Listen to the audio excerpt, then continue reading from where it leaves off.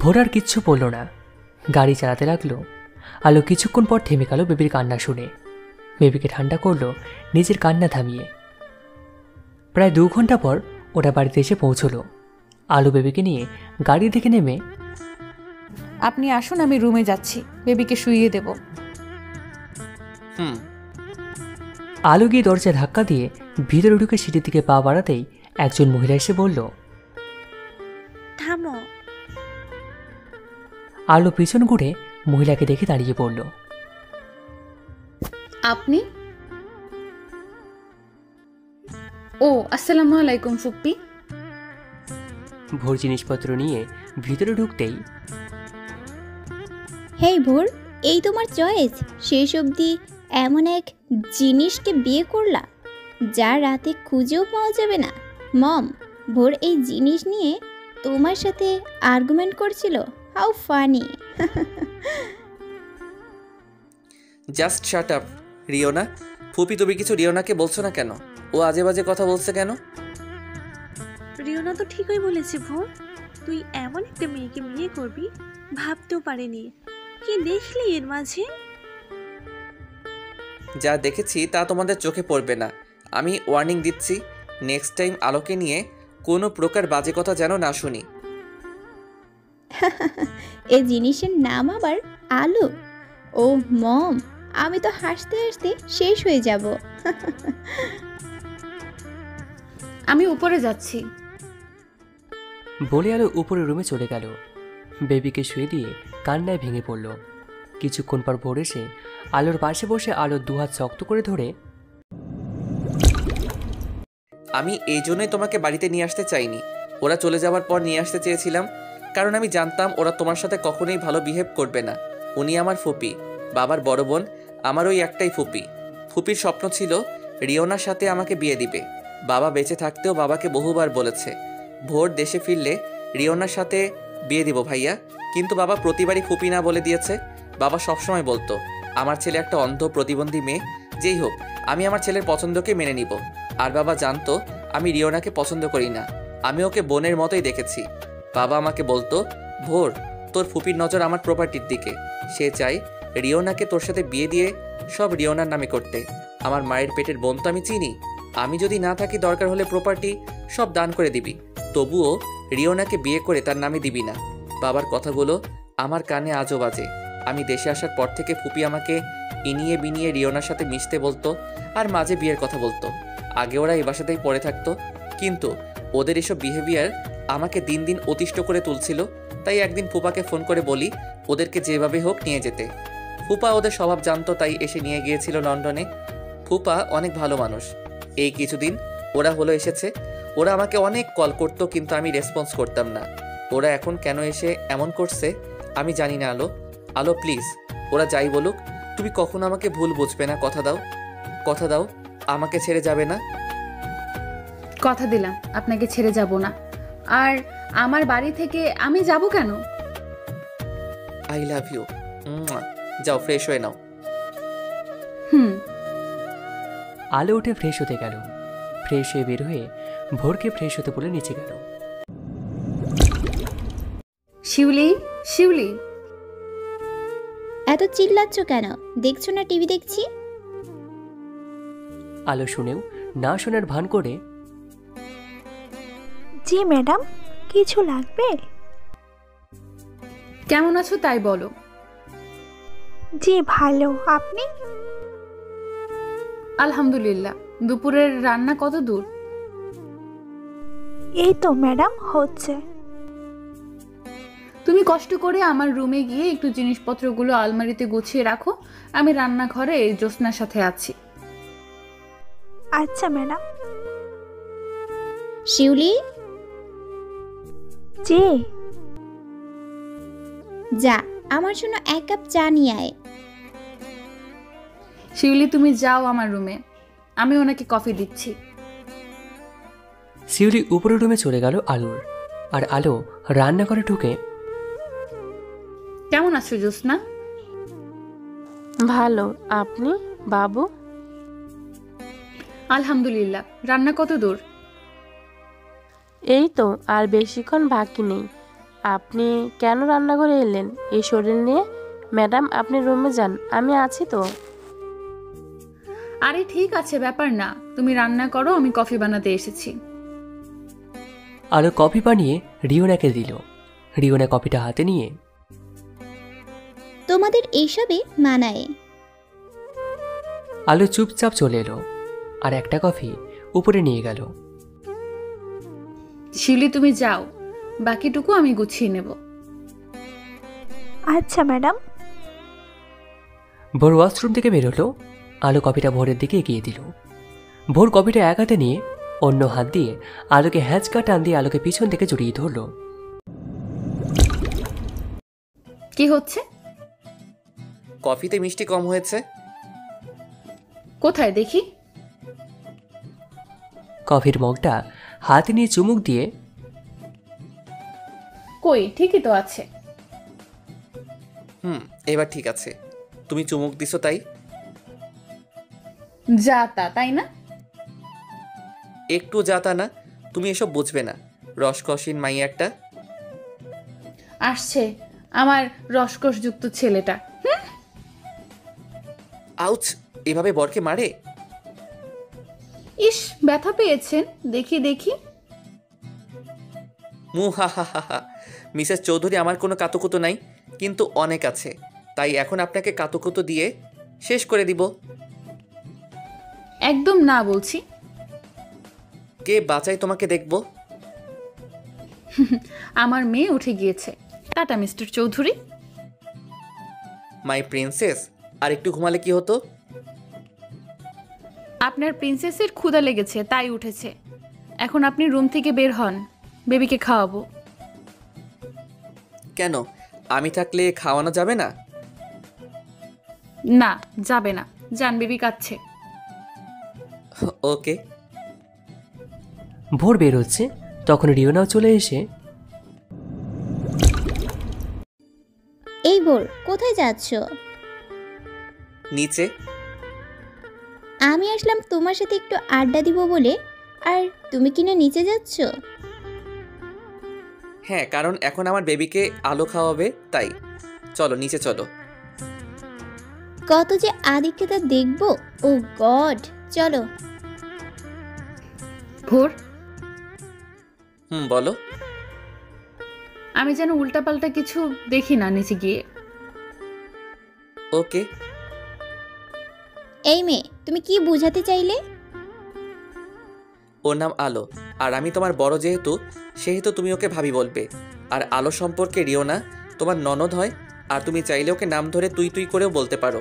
কারণ তুমি তো ওর বড় ভাবি সম্পর্কে। আচ্ছা ওকে রিও না তাহলে এবার তোর ভাইয়াকে নিয়ে নিচে গিয়ে গল্প কর আমি বেবিকে খাওয়াবো লজ্জা সরম আমার আছে। স্টুপিট বলির আগে গজগজ করতে করতে চলে গেল। আর ভোর হাসতে হাসতে আলোর দিকে তাকালো। আলো একটা চোখ টিপ দিয়ে দিল। তারপর ভোর নিচে চলে গেল। আলো বেবিকে গোসল করাবে, তাই বেবির বাট্টাবে হালকা গরম পানি। তার ভিতর সেবলন দিয়ে রুমে এসে বেবিকে নিয়ে ছাদে গেল। আজ প্রথম আলো বেবিকে গোসল করতে যাচ্ছে। তাই একটু নার্ভাস ফিল করছে। বেবিকে ঠিক কীভাবে ধরতে হয়, বুঝতে একটু কষ্ট হচ্ছে, তবুও চেষ্টা করছে। আর বেবিটা কান্না করছে। এর মধ্যে পিছন থেকে একটা বাচ্চাকে গোসল করাতে পারো না তুমি? তুমি আবার চৌধুরী পরিবারের বউ হওয়ার যোগ্যতা দেখাও। সরে যাও আমি গোসল করিয়ে দিচ্ছি। ফুপ্পি আমি পারব। প্রথম প্রথম তো তাই একটু সমস্যা হচ্ছে। তুমি কি তর্ক ছাড়া আর কিছুই জানো না? বেয়াদব মেয়ে কোথাকার? সরো। বলে বেবিকে কোলে নিয়ে সুন্দর করে গোসল করিয়ে দেয়। টাওয়াল দিয়ে বেবি শরীরে পানি মুছিয়ে ফুপি আম- আপনি গোসল করানোর সময় প্রভাতে হাসছিল একটুও কান্না করেনি। আর আমি পানিতে নিতে এই ভ্যা ভ্যা করে কান্না জুড়ে দিল। দেখুন এখন আপনার কোলে হাসছে। বেবিকে কীভাবে আগলাতে হয় তোমরা জানো না বুঝো? এগুলো বুঝিয়ে আসো আমি ওকে নিয়ে রুমে গেলাম। ফুপি চলে গেল। আর আলো মনে মনে বলল ফুপি আপনি অতটাও খারাপ না যতটা আপনি দেখান। আমার শ্বশুর যদি একজন অমায়িক মানুষ হয় তাহলে আপনার ভিতর একজন ভালো মানুষ আছে। বলে আলো সব কিছু গুছিয়ে রুমে চলে গেল। গিয়ে দেখে ফুপি বেবিকে ঘুম পাড়াচ্ছে। ফুপি ঘুমিয়ে পড়েছে? আস্তে কথা বলো। দেখছ না আমার নাতনি ঘুমাচ্ছে? ও হ্যাঁ সরি। ফুপিও কার মতো হয়েছে? একদম আমার ভাবির মতো। আমার ভাবির মতো চেহারা পেয়েছে। গায়ের রঙও আমার ভাবিরই মতো। আমার শাশুড়ি সুন্দরী ছিল? হ্যাঁ আমার ভাবি অনেক সুন্দরী ছিল। ভাইয়া কালো ছিল তাই ভাবি সুন্দরী দেখে এনেছিল আমার মা। আমার মা আবার কালো ছিল কিন্তু আমার বাবা ফর্সা ছিল। আমি আর ভোর যেমন ফুপি? তুমি কালো কিন্তু আমার মায়ের মতো না। সব জায়গায় বেশি কথা বলো কেন? ও তা আমার শাশুড়ির সাথে আপনার কেমন সম্পর্ক ছিল? ভাবি আমার ছোট ভাইয়ের বউ ছিল কিন্তু তার কথা ছিল একজন মায়ের মতো। সে বড় ভালো মানুষ ছিল কিন্তু কিন্তু আপনার কারণেই আমার শাশুড়ি মারা গিয়েছিল আর তার মৃত্যুর পর আপনি অনেক অনুতপ্ত হয়েছেন, কিন্তু ভুল সময়ে। ভোরকে তুমি তাবিজ করেছ, তোমাকে সব ভুল বলেছি। শোনো মেয়ে, তুমি আমার মেয়ের জায়গাটা নষ্ট করেছ। তোমার মেয়ে ভাবির মতো হয়েছে বলে তাই ধরেছি, কিন্তু ভুলে যেও না, তুমি আমার চোখে খারাপ। আমি তোমার জন্য ভোরের সাথে আমার মেয়ের বিয়ে দিতে পারিনি। এই তোমার মেয়ে ঘুমিয়ে পড়েছে। গেলাম আমি। বেয়াদব মেয়ে কোথাকার? আমার ছেলেটাকে বশ করে রাখছে যা বাবা ওনার তারে সমস্যা আছে। হুম, তারপর আলো শাওয়ার নিতে চলে গেল। সাওয়া শেষ করে বেরিয়ে দেখে রিওনা বেবির পাশে বসে বেবির দিকে তাকিয়ে আছে। রিওনা এখানে কেন? মম বলল এই মেয়েটা নাকি মামনির মতো দেখতে ছিল। তাই মামনির ছবি দেখে মিলাচ্ছি কিন্তু হালকা মিল পাচ্ছি। ও তো দেখা শেষ? দেখা সেদিন শেষ হবে। যেদিন তোমাদের দুজনকে এই বাড়ি ছাড়া করব। বের হও রুম থেকে এক্ষুনি। রিওনা বের হয়ে গেল। রাতে ভোরকে বলল শুনুন। বলো। ফুপ্পি আজ প্রভাতিকে গোসল করিয়ে দিয়েছে আবার ঘুম পাড়িয়েও দিয়েছে। সত্যি? হুম তবে সে আমাকে পছন্দ করে না আর রিওনা না আমাকে না বেবিকে কাউকেই পছন্দ করে না। পাগলি মন খারাপ করে না? আমি তো আছি। হুম আচ্ছা ঘুমান। ভোর কিছু না বলে ঘুমিয়ে পড়ল। হালো একটু পরে সে ঘুমিয়ে পড়ল। সকালে। আ। রিওনার চিৎকার শুনে রিওনার মা আর ভোর দৌড়ে এসে কি হয়েছে রিওনা চিৎকার করছ কেন? এই মেয়েকে বলেছিলাম এক কাপ কফি দিতে। কফি এনে এই মেয়ে ইচ্ছা করে আমার হাতে কফি না দিয়ে কফি এই হাতে ঢেলে দিয়েছে। ও মম জ্বলে যাচ্ছে। ছি ভোর ছি তুই এমন একটা মেয়েকে বিয়ে করলি যার ভেতর এত হিংসে। আমার মেয়েকে পুড়িয়ে মেরে ফেলতে চাইছে। আলো তুমি এটা ইচ্ছা করে করেছ নাকি অ্যাক্সিডেন্ট আমি কিছুই করিনি। যা করার উনি নিজে নিজেই করে এমন করেছে। মম দেখো এই মেয়ে আমাকে পুড়িয়ে এখন কত মিথ্যা বলছে। আহ মম জ্বলে যাচ্ছে। ওয়েট আমি মেডিসিন নিয়ে আসছি। ভোর উপরে গিয়ে মেডিসিন এনে রিওনার হাতে লাগিয়ে দিল। রিওনা আলোর দিকে তাকিয়ে একটা ডেভিলস মার্কা হাসি দিল। আলো কিছু বলল না চুপচাপ উপরে রুমে গিয়ে ব্যালকনিতে গিয়ে বসে আছে। কিছুক্ষণ পর ভোর এসে আলো আমি জানি ফুপি রিওনা তোমাকে সহ্য করতে পারে না। তাই বলে তুমি এমন বিহেভিয়ার না দেখালেও পারতে। আপনি এটা বিশ্বাস করলে আমি করেছি। কেউ নিজে নিজেই ইচ্ছে করে তার হাতে গরম কফি ঢালবে না তাই না? একটু মাথায় রেখো ওরা কিন্তু আমার আপনজন। আর রিওনা বা ফুপি দুজনই বেবিকে অনেক ভালোবাসে। আশা করব তুমি এমন কাজ দ্বিতীয়বার করবে না। আপনি কিন আর বলতে পারল না তার আগেই ভোর বেরিয়ে গেল। আর আলো কষ্টে কেঁদে দিল এভাবেই। ভোর আলোকে বিশ্বাস করল না। আমি তোমাকে বোরের জীবন থেকে তাড়িয়ে ছাড়বো। আজকে মাত্র শুরু। ভোর যেতেই রিওরে এসে এই কথাগুলো আলোকে বলল। আলো চোখ মুছে উঠে দাঁড়িয়ে বলল তোর মতো হাজার রিওনা আসলেও ভোরের জীবন থেকে আমাকে সরাতে পারবে না। আমি সরবো না ভোর সরাবে না। আর তোমাকে আমি এক সপ্তাহের মধ্যে ভোরকে দিয়ে ঘাট ধাক্কা দিয়ে বাড়ি ছাড়া করব মাইন্ড ইট।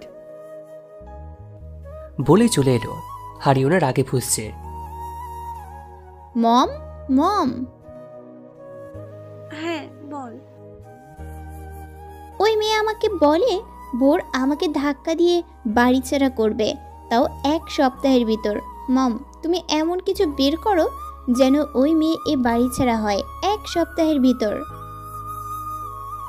চিন্তা করিস না কাল তোর চাচুর ছেলে আসবে এখানে।